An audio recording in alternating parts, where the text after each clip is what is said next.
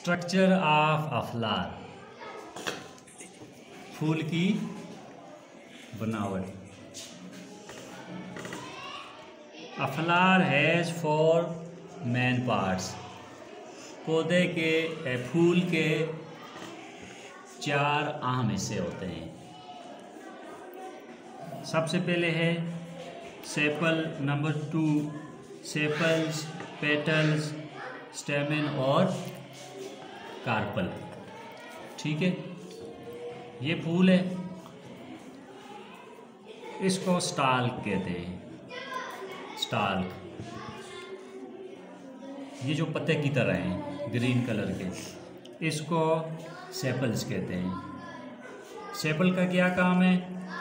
वो पेटल्स को, यानी ये जो पत्तियाँ हैं ना, जिनको पंखियाँ कहते हैं, इनको पकड़ के रखता है, होल्ड करता है। ठीक है? ये जितने भी आपको ये रेड नज़र आ रहे हैं पत्तियाँ हैं ना, इनको पेटल्स कहते हैं। ठीक हो गया?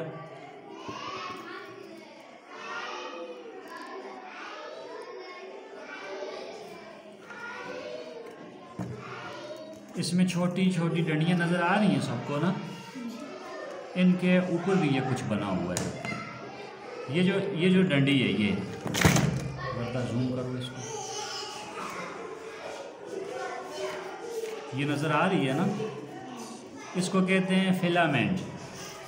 क्या नाम है? फिलामेंट। और इसके ऊपर ये जो दाने दाने बीज से बने हैं ना इसको कहते हैं एंथर। ठीक है?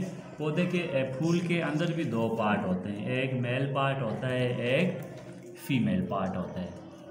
ये जो फिलामेंट है, इसके ऊपर एंथर है, इसको मेल पार्ट कहते हैं। ठीक है? उसके बाद है कार्पल।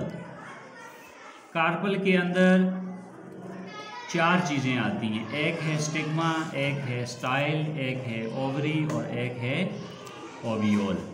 ठीक है? वो इसके अंदर नहीं है ना? अच्छा इसको यहाँ से देख लें। ये जो गोल सी अंडे की तरह ये नज़र आ रही है ना, इसको ओवियोल कहते हैं, ठीक है? और ये जो सर्कल की तरह है, ये ये वाला है दो है ना, एक इसके अंदर एक बाहर है। ये जो बाहर वाला है, इसको